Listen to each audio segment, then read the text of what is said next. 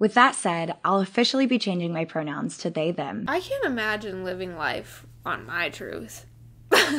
That's a scary thought.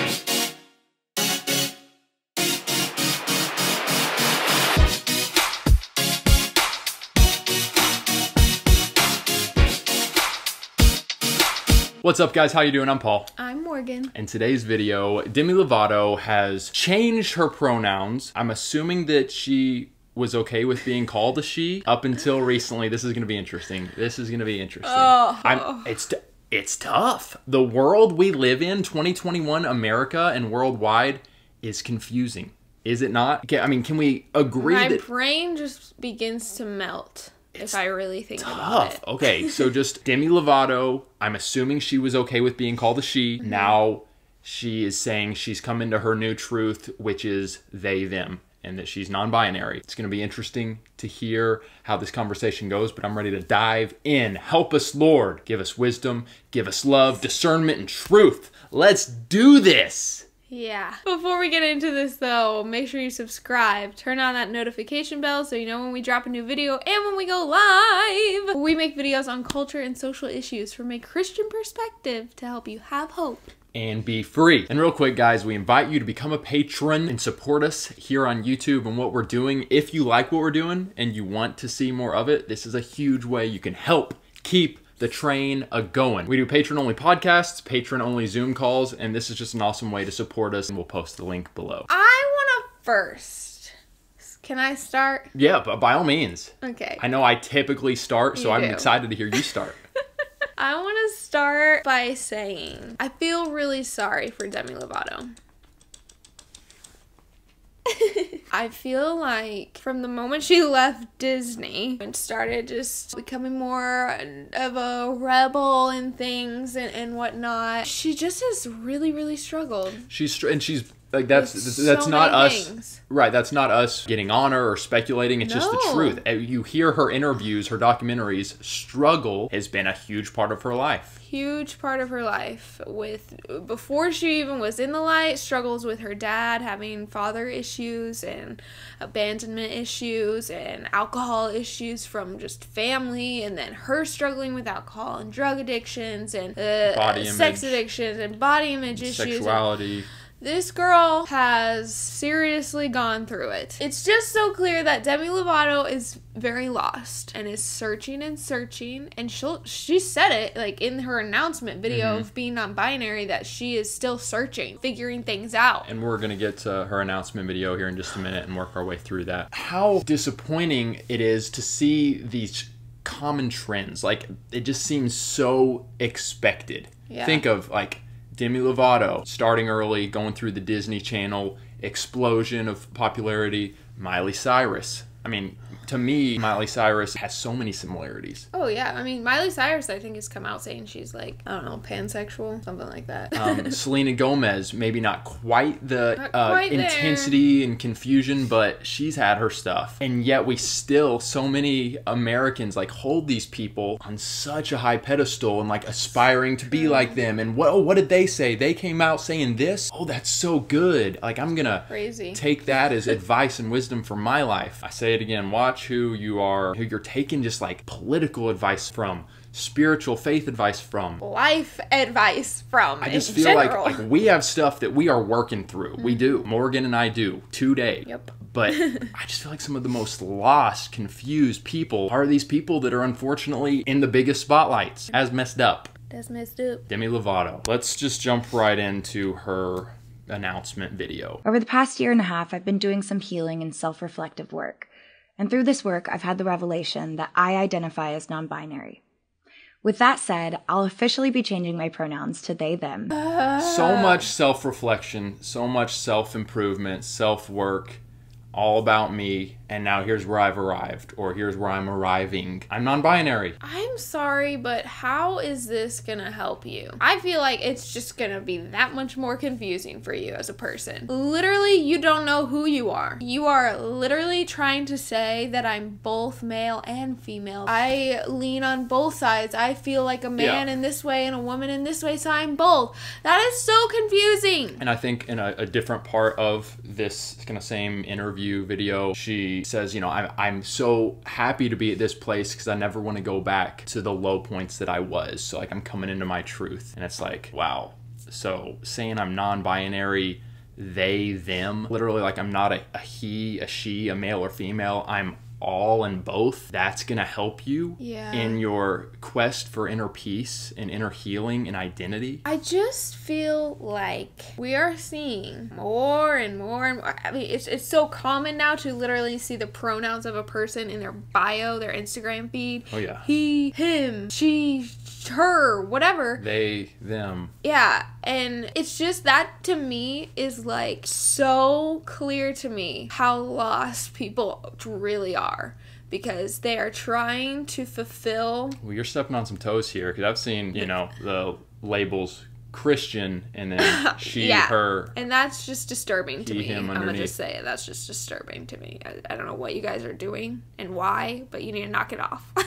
you are exactly who God made you to be. There is nothing you need to change. There is nothing that needs to be shifted. That's just where I stand. But I understand the feeling of being lost. I understand the feeling of no purpose in life. I understand the feeling of confusion and heaviness and lowness and darkness. I understand those feelings. But I'm telling you, out of experience, you'll never ever feel fulfilled through things of this world, through labels, through identities, through relationships, through drugs, through alcohol, through whatever it might be. And so Demi can go on and go ahead and say that they, them, that's what they are now. But I have a feeling that in a few years, or maybe even a year, I don't know, we're gonna see that they are struggling once again with something else. I don't wanna like declare that over her, but I'm just kind of saying I think that's the case. That's the direction we see all these people go down is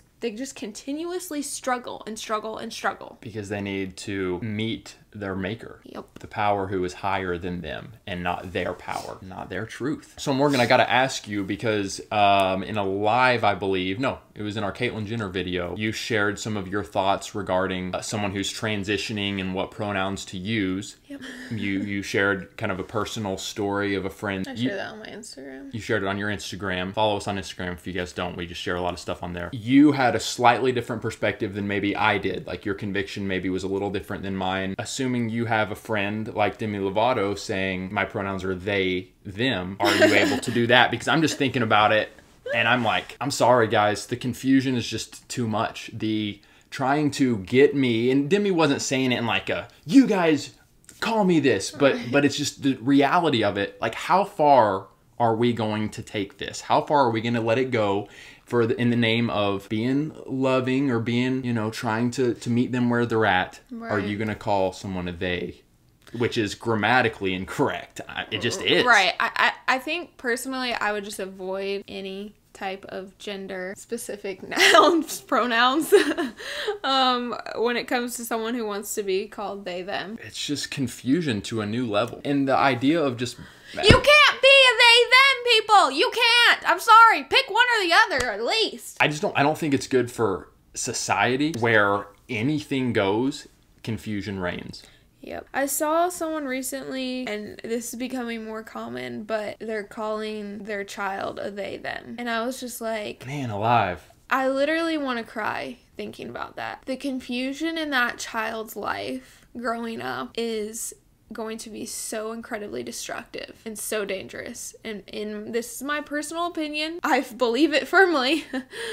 but I just cannot imagine growing up like that. And now we've got these adults and these kids are looking to these adults like like wait, wait, what are they? They're not a male. It's, it's not a lady. What is it? What is it? To me, it's like, have you lost all self respect for yourself? You're so unsure about yourself that you just are like, I, I, like, I don't know the personal struggle behind that, behind making that decision. And I know a lot of people say, like, that's so brave of her, or, or that's so brave of them to come out and, and claim this and claim that they're non binary. So like, brave. way to go. Well, so on that note, before we continue the clip, I heard somebody on YouTube saying a lot of times you'll hear announcements like this from a celebrity whose career is starting to, you know, where they were totally the hottest thing and now it's kind of, uh, is the timing of this a little odd? Also, with the whole frozen yogurt debacle from a couple weeks ago and she got it, it, would seem like a lot of hate like the majority of people Yeah. that saw that story were against demi lovato and so now is she kind of like this is my scapegoat guys i'm coming out and stepping into my truth they them does that Yeah. seem like something here Yeah, you know, and some people are going to come on here and be like, how dare you even make that claim? You don't know how scary it is to come out and, and say that you feel non that you are non-binary or you're a he instead of a she. And you might be right, but you also might be wrong. Like, I think that there very much could be a reason behind this that isn't a, oh, I feel non binary. It's like a, well, I kind of am like, you know, experimenting Yeah. with my identity, and now's a good time to announce well and it you know because. how praised coming out of the closet is in hollywood and just general america it would seem it's no longer a big deal if you come out of the closet. Now it's like you got to come out of the closet and say that you're actually a he instead of a she, and she instead of a he, and a they them. Like we're taking it to the next level. It just keeps going up and up and up now. It's crazy. It's crazy. We are living in crazy times, people. at some point you just have to say i love you i care about you and respect you as a person but i cannot continue to go down this road let's let's continue the clip I feel that this best represents the fluidity I feel in my gender expression and allows me to feel most authentic and true to the person I both know I am and still am discovering. person i both know i am and am still discovering like that sounds kind of like a humble way to say it but is that like an oxymoron the person i know i am which is they them and am still discovering so i don't know who i am Yeah. It's so con- like are you guys confused? Are you as confused as we are? Cuz I'm very confused. And I'm very sad about this whole situation. I'm very sad that people like Demi Lovato come out, have such a big platform and share this stuff with young confused people already. Like I'm 26 and I'm confused like just in life in general. But ouch so I can't even imagine Wait, wait, hold on. Would you say that there are elements of life? And They there are that, that are just like, what is life is confusing Yes. sometimes. But there's there there's like taking that to another level. I wouldn't look at you and say Morgan is just a completely confused person. No.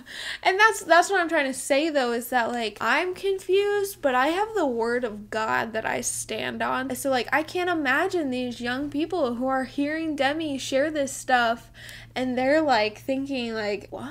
Maybe that's true. Well, and My truth. Yeah, I should live in my truth." I, I don't know the st- stats off the top of my head, but I think if you look at the amount of Gen Z that are saying, yeah, I'm gay, I'm trans, I'm non binary, it's like skyrocketed compared to previous generations. skyrocketed and what else has skyrocketed depression and suicide this is the most accepting our world has been with the lgbtq community yet they are one of the highest communities ending their lives whether you're firmly rooted in the word of god or you're feeling shaky or you're just kind of over the word of God, but you're still struggling with identity and life and just confusion. I just feel like now is the time to really, really give yourself over to the Word of God. Give yourself over to the, the truth that the Word, the Bible, has in it. Just search, dig,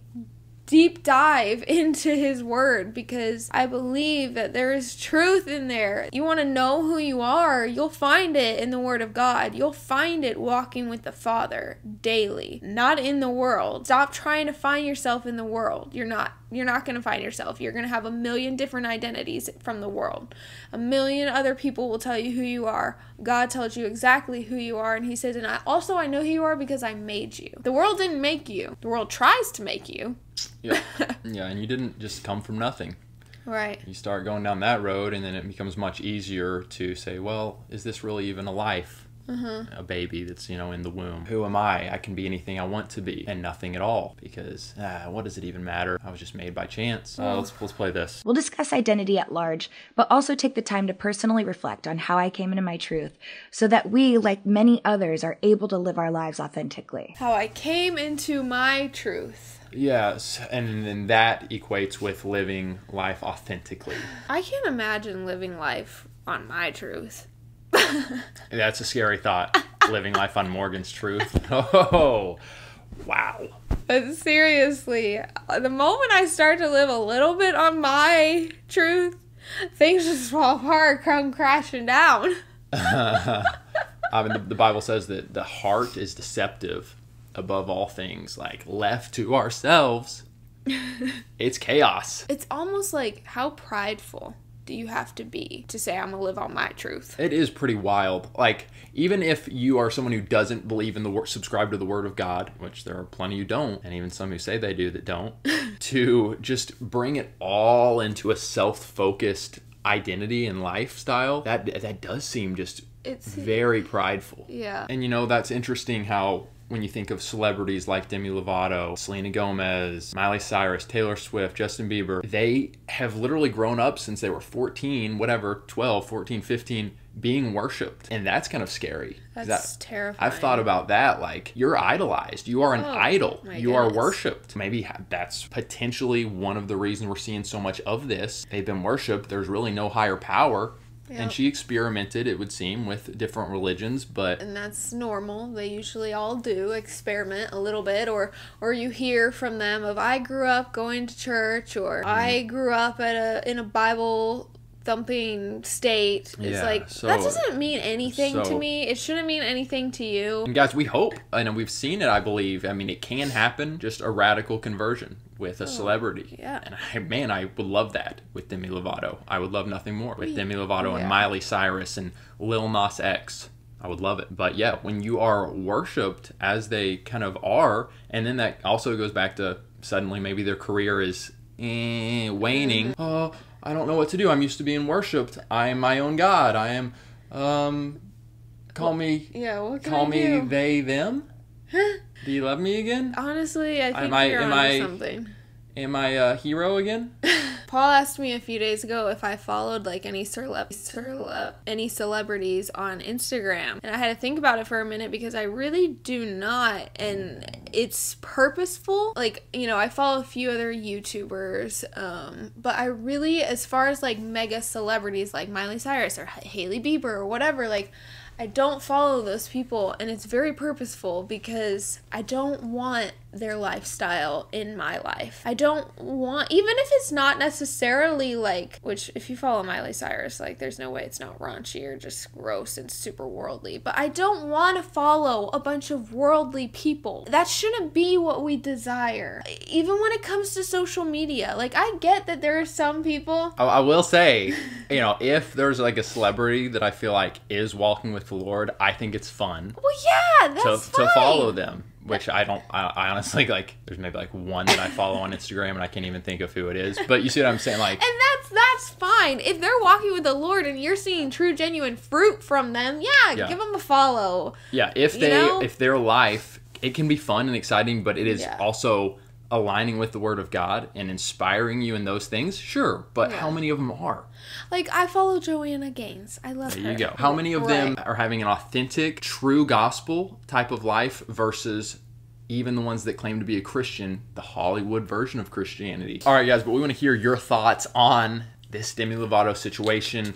Saying I'm they, them. How do you process that? Let us know. Let's keep the conversation going. And one last thing I do want to say if you are someone out there who is struggling with your identity, who is got pronouns in your bio, who is just trying to figure it out, we would love to have a, genuine conversation with you because as confusing as this life is and as confused as it as I am by it, I am very solidly firm in my identity as a woman of God, as a child of God. I hope that you can see the confidence and the genuine just truth that Paul and I live in on a regular basis. Whether you agree with the word of God or not, I hope that you do see that like we are confident and we are firm in who we are and what we believe. And so if you are someone who is just struggling with I don't know who I am. I don't know what I believe. We'd love to talk to you. Yeah, we would. Give this video a thumbs up if you appreciated us risking our necks, putting our necks out there in a scary. I mean, it's yeah, this is a tough world, a tough world to tackle and, and shed light on and be bold in. But if you appreciated it, give it a thumbs up. All right, guys, we love you all very much. Thanks for watching. Until next time, have a wonderful rest of your day, and we'll catch you again very soon. Have hope and be free. I just have never been obsessed with celebrities. You so said you messaged Nick Jonas. That's true, I did. So don't even I did like act like it. Don't even act like you are Miss Perfect in this area.